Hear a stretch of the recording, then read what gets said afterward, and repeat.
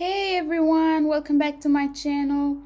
So in this video, I'm gonna do dermatology questions with you guys because my test was a bit heavy on dermatology and also NBMEs bring up these questions a lot. And it works for both step one and step two. So yeah, let's get started. So the first question says an eight-year-old previously healthy girl is brought to the office by her mother due to hair loss on the scalp. The first thing I need you to do, guys, whenever I have a derm question, is to look at the picture first. It usually says it all, like a spot diagnosis, and then read the thing. So here we can see an area of hair loss. This is very important. So you need to remember all the causes of hair loss, Plus, I can also see some scaling and look at the demographic as well. Uh, this is an African American girl, right? So these are important pieces of info. Right, several weeks ago, the mother noticed the patch of hair loss, which has progressively enlarged. The mother also says that the girl frequently scratches at the area. So, guys, hair loss with itching right? The child recently changed a different school, has been anxious about new teachers. This is just a distraction to show you it might be due to stress, but it's not. Okay, skin exam findings are shown the image below. There are several enlarged tender occipital and post-auricular lymph nodes.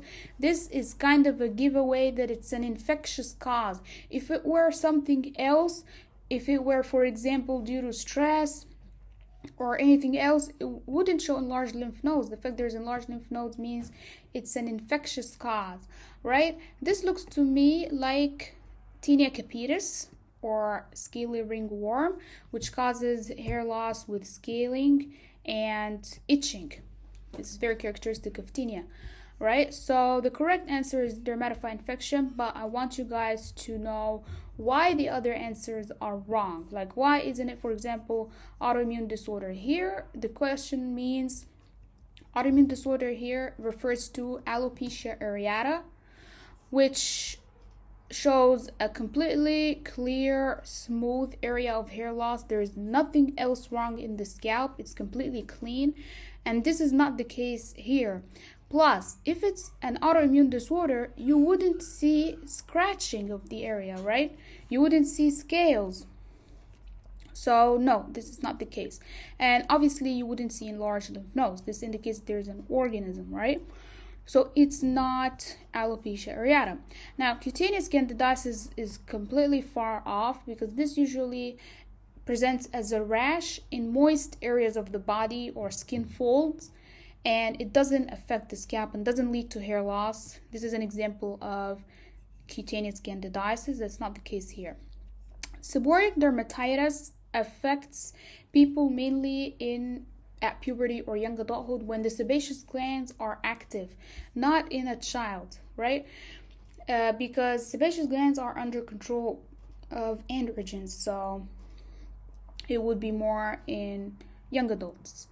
So it usually presents like dandruff, something like that. It doesn't really lead to hair loss. Like anyone who has dandruff, their main problem is not hair loss, right?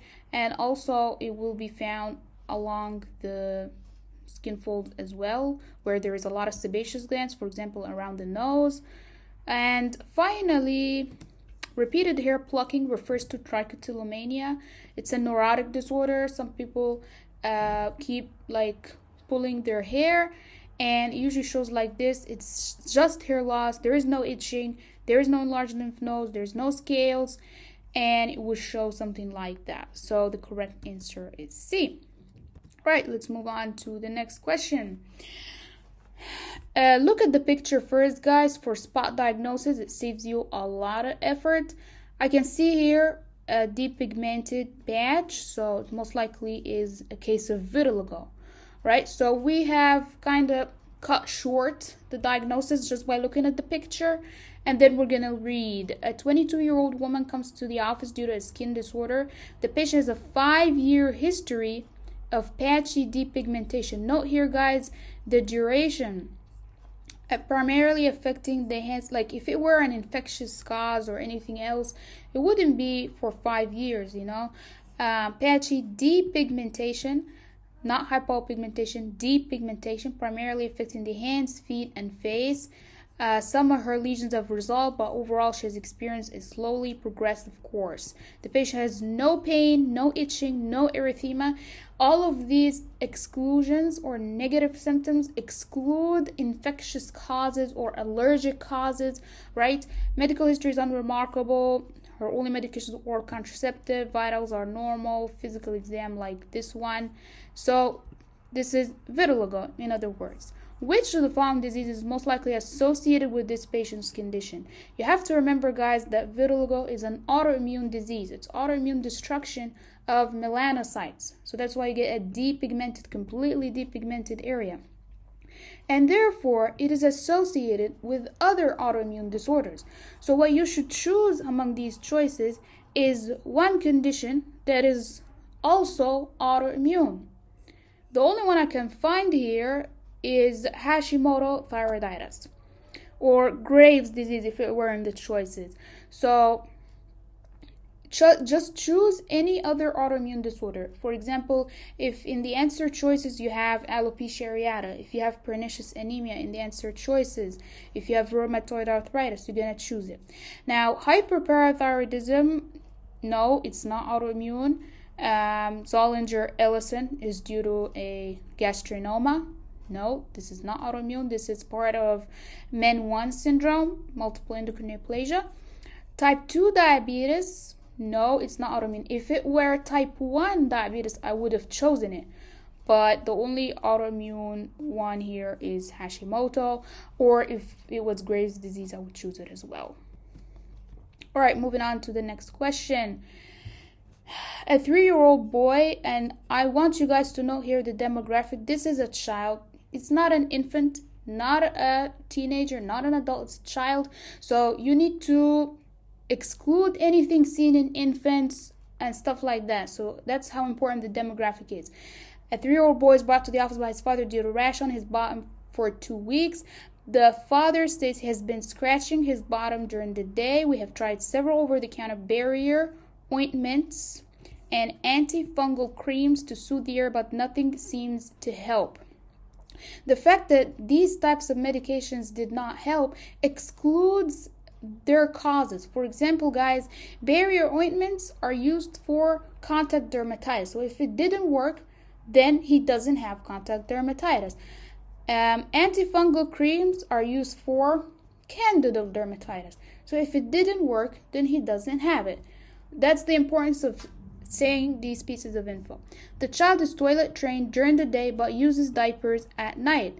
The fact he only uses diapers for a short period of time, only at night, should exclude, for example, contact dermatitis because of diapers, you know. The patient usually stools twice a day without straining, but for the last few days, he has had pain with bowel movements and blood on the toilet paper after wiping. No recent illnesses, no chronic medical conditions. His eight year old sister had pharyngitis a few weeks ago but is now recovered after antibiotics. Now, this is a very important point, guys. The fact his sister had um, bacterial pharyngitis, most likely it's streptococcal pharyngitis, means he has someone, he's con- has contact with someone at home who has streptococcal infection, right? Very nice. Keep this in mind. Uh, temperature is normal, physical exam is normal, but shows a bright red, sharply defined rash that extends 2 centimeters circumference around the ends. There are two fissures in the perianal region. What's the most likely diagnosis? I brought a picture from the web, even though it's not associated with the question, but this is what it might look like. The fact, guys, that there is fissures, you should always put this in your head when doing derm questions. Whenever it mentions fissures, right away equals streptococcal infection. Like it's a giveaway. When it says fissures with a rash or anything, it means streptococcal infection. Just keep this in mind, just memorize it. So here's what it might have looked like, you know, sharply defined, and there's also fissures and bleeding. So the fact that um, antifungal creams didn't work, we said excludes candidal diaper dermatitis. And this is what candidal diaper dermatitis looks like, guys. Number one, you have to know that it involves the skin folds because Candida likes moist areas, beefy red, plaques, and also there are satellite lesions outside the lesion. And here's how it looks like in real life. I'm not sure why the picture went away. Anyways, irritant diaper dermatitis would be more likely if the child was wearing the diaper the whole day, but he only wears it at night. So it's really unlikely. Plus, it will look like this. It will spare the skin folds, and that's what differentiates it from candida dermatitis. There is also no satellite lesions. It's how it looks in real life. So, still no. Right. Uh, seborrheic dermatitis very unlikely in a child and it doesn't come in these areas anyway. It comes in areas where there is a lot of sebum or sebaceous glands, such as the face, the scalp, and more in um, teenagers or young adults when you have a lot of androgen that affects the sebaceous glands. So the most likely diagnosis here is streptococcal perianal dermatitis. There's so many clues to this. Number one, fissures. Number two, the fact that other medications for other conditions didn't work. So barrier ointments, which are usually uh, used for irritant diaper dermatitis, didn't work. So it's not this. Antifungal creams didn't work. So it's not candida. Simply those two are more seen in infants that are wearing diapers for the entire day. But this is a child, three year old boy. He only wears diapers at night. Very unlikely and the fact that he had contact with a case of strep pharyngitis at home, his sister had pharyngitis treated with antibiotics, also proves that it might be streptococcal. All right, moving on to the last question, and I want you to look at the picture first, like we always do with any derm question. I'm sure a lot of you might have already thought this is a hemangioma or a capillary proliferation, but which type exactly? It's very confusing, the choices. So, a five month old girl below age one, and I need you to note this, is brought to the office by her parents for evaluation of a skin lesion her buttock. Her parents initially noticed a small red macule several weeks after her birth, so they noticed it a short time after her birth, and they thought it was an insect bite, but after applying cortisone cream, it has progressively enlarged. All right, so it started small and now it's getting larger, especially over the last two months within the first year of life. This kind of scenario is very characteristic specific uh, birthmarks, which is strawberry hemangioma. It's called strawberry hemangioma or superficial hemangioma. Uh, now, a lot of you might choose cherry angioma because it looks like cherry. I don't know. But let's see all the differentials for this condition. So these are three possible birthmarks you can see in a baby. The first is nevus flammeus or port wine stain. This one is almost always unilateral. So you're gonna see it's, it's called it respects the midline. So you're gonna see only on one side and this one doesn't fade away.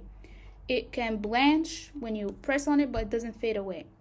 And this is usually seen with um, like either on its own or sometimes with Sturge-Weber syndrome. Nevus simplex, this one can go away with time. It fades with time. It's usually seen in the middle and on the glabella or the eyelids.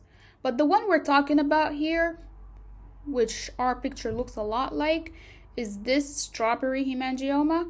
This one is raised and it grows within the first year of life rapidly and then regresses after the first year of life. This is the typical presentation. Now, usually we don't do anything with it, just observation. However, sometimes we have to do, we have to treat it. We have to give propranolol, uh, which is a vasoconstrictor, right? Because this is a vascular proliferation because if it comes on the eyelids for example it can lead to squinting or affect vision right? So in this case, you have to treat. You don't can just do observation, right? Also, if it comes on the face or any area that is cosmetically sensitive, it can ulcerate, you know. So you also need to give treatment. Also, if it comes on the trachea, can affect the airways. Only in these conditions can you give treatment? Otherwise you can do observation. So what about the cherry angioma? The cherry angioma doesn't even come in children. It's seen in adults. And you can notice here that this is adult skin and there's small stuff like cherries and they can be multiple. You can get a lot of them so it's completely not the case here. And by the way this is the port wine stain on the one side of the face. Respect the midline. And this is the nevus simplex on the glabellar eyelids and it goes away with time. So our case here is superficial hemangioma or strawberry hemangioma. Now you know. Alright guys, so hope this makes sense. Let me know what you think in the comments.